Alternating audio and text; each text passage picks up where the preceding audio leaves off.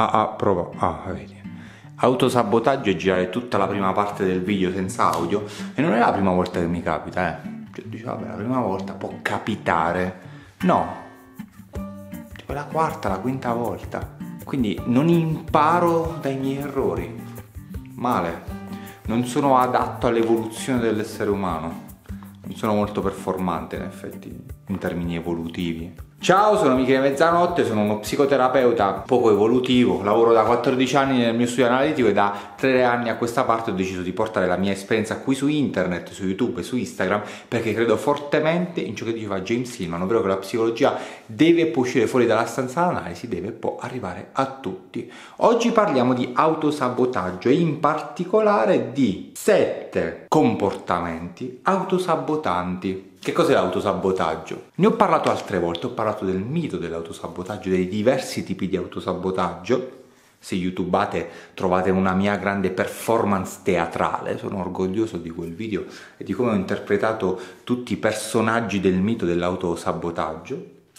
ed è quella dinamica psicologica che ci impedisce di raggiungere i nostri obiettivi, di compiere il nostro daimon, di fare ciò che vogliamo. E a quel punto dobbiamo chiederci se l'autosabotaggio effettivamente è un modo per dire no, io non lo voglio inconsciamente, quindi è un conflitto tra conscio e inconscio, oppure dentro di me c'è questa parte autosabotante che mi impedisce di realizzarmi. In entrambi i casi dobbiamo sempre dialogare con la parte autosabotante per vedere cosa vuole, perché c'è Qual è la sua finalità? Vediamo quali sono i sette comportamenti autosabotanti. Cercare alibi, scuse, giustificazioni. Non ci sono riuscito perché? Quando ci giustifichiamo in continuazione ci stiamo autosabotando. Quando abbiamo un alibi per non aver fatto qualcosa, ci stiamo autosabotando. Quando cerchiamo delle scuse per non fare qualcosa, ci stiamo autosabotando. È come se mi servisse una causa esterna per non raggiungere ciò che io voglio o non voglio? Questa è la domanda principale. Lo voglio veramente oppure no? A cosa mi serve prendere quella scusa? A cosa mi serve autosabotarmi in quel momento? Dare una colpa, dare una colpa a qualcun altro per un proprio fallimento, per una propria sofferenza, è la più grande forma di autosabotaggio affidare la responsabilità della propria vita ad un'altra persona, affidare l'eventuale fallimento della propria vita o di un aspetto della propria vita a un'altra persona, perché in questo modo io divento attore passivo della mia vita, divento un oggetto e non più un soggetto. Nel momento in cui io divento oggetto della mia vita, sto lì passivo a subire tutto, poverino, quello che mi accade intorno, divento vittima della vita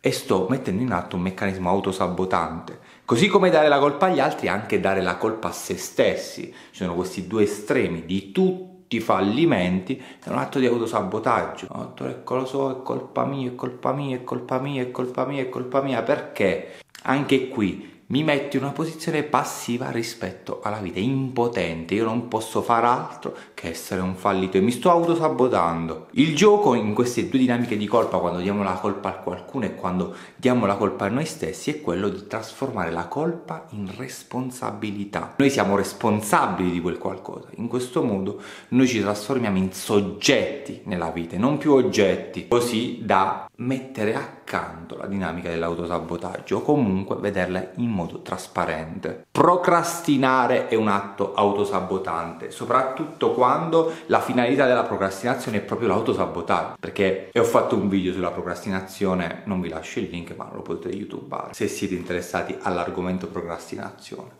Dicevo soprattutto quando la procrastinazione ha la finalità di fermarmi, di, fa- di, di, far esprimere una parte di me che dice no, io quella cosa non la voglio fare. Però c'è la mia coscienza che dice no, la devo fare, la devo fare perché è giusto fare, la devo fare, è giusto fare. L'inconscio dice col cazzo che te la faccio fare.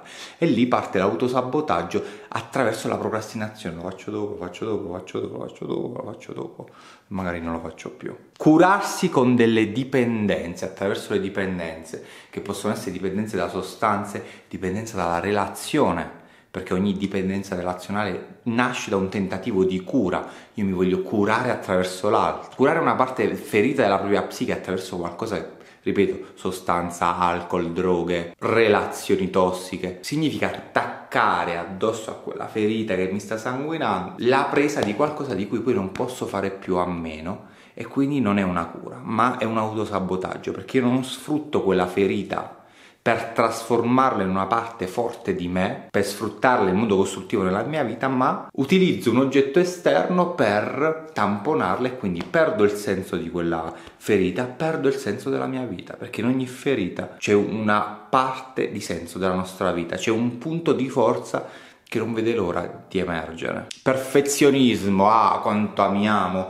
autosabotarci attraverso il perfezionismo. Io non faccio una cosa se non è perfetta. Significa che ti stai autosabotando perché quella cosa perfetta non accadrà mai. Come ho detto già altre volte, c'è una differenza tra perfezionare qualcosa che io sto facendo e essere perfezionisti, ovvero non fare quella cosa finché è perfetta. Compiacere gli altri. Un'altra uh, forma di autosabotaggio è quella del compiacimento, ovvero io tendo ad agire nella mia vita non per seguire i miei valori, non per seguire i miei obiettivi, non per fare emergere il mio carattere, per essere aderente alla mia identità, ma per non disturbare gli altri, per compiacere gli altri. Quando io mi metto in questo mood di compiacimento dell'altro, mi trasformo in oggetto, non faccio quello che dovrei fare e mi autosaboto.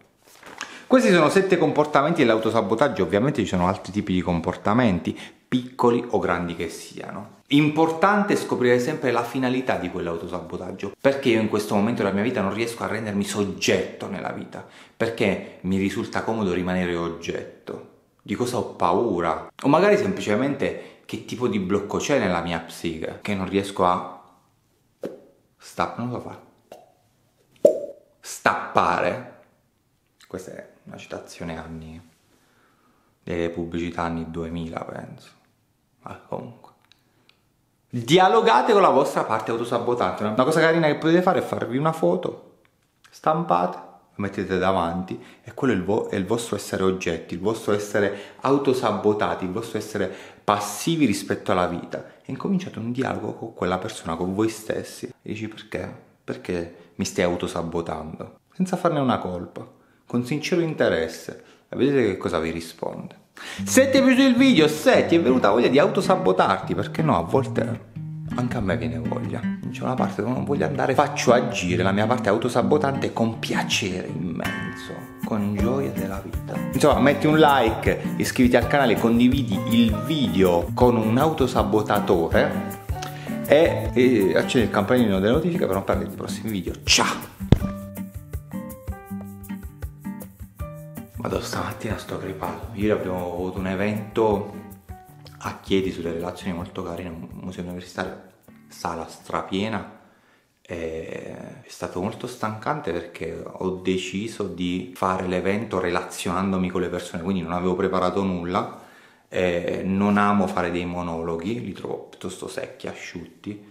Per fare anima, per fare psiche, amo interagire. Quindi, ovviamente, nell'interazione non sai mai quello che eh, non sei mai pronto, no? non sai quello che ti aspetta sono uscite belle domande, belle dinamiche, interessanti, stancanti però, eh, bello, abbiamo fatto animo.